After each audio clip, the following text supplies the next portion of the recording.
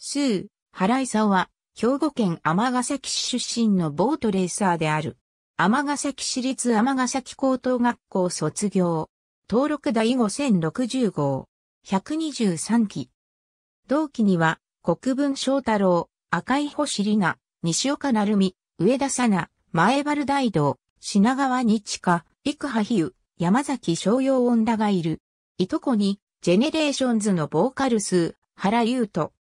幼少期からボートレーサーに興味を示し、6歳の時に ABC テレビで制作されていた探偵!ナイトスクープ宛てにモンキーターンをしてみたいと応募して、同番組への出演を果たした。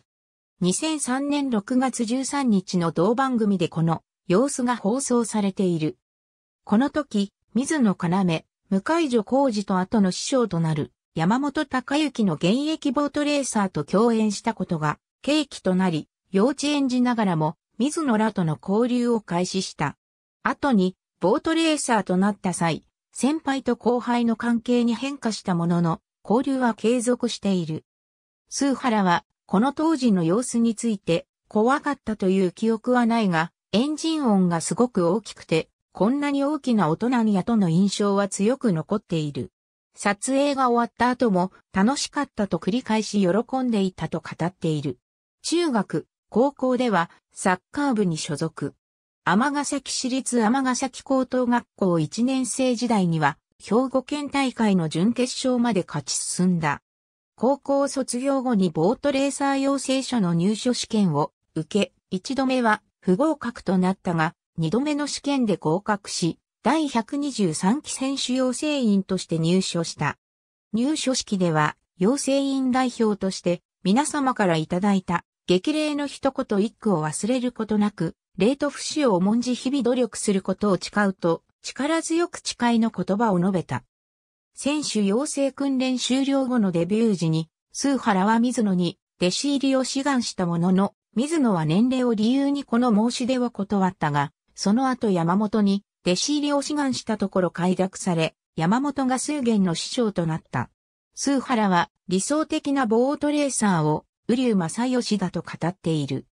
地元のボートレース天崎のデビュー節では、探偵ナイトスクープで共演した水野と同じ開催に斡旋された。デビュー戦となる初日、第 2R では、スーハラにとって、プロ初めてのレース出場で、水野と直接対戦となる対戦メンバーを組んだ。レースとなり、話題となった。デビュー戦にして、最初の水野との直接対決ともなったレース結果は、最下位の6着であった。スーハラはこのレース直後のインタビューで、デビューから4年以内に A 級に昇格して、新人王を獲得したいとコメントした。なお、水野は2019年2月で引退している。怪我による戦線離脱もありながら、2020年5月13日、デビューから164走目となるレースで初勝利を挙げ、水神祭を挙げた。開催終了後、すぐに水野に連絡、喜びを報告した。水野にとっても最高のプレゼントとなった。ありがとうございます。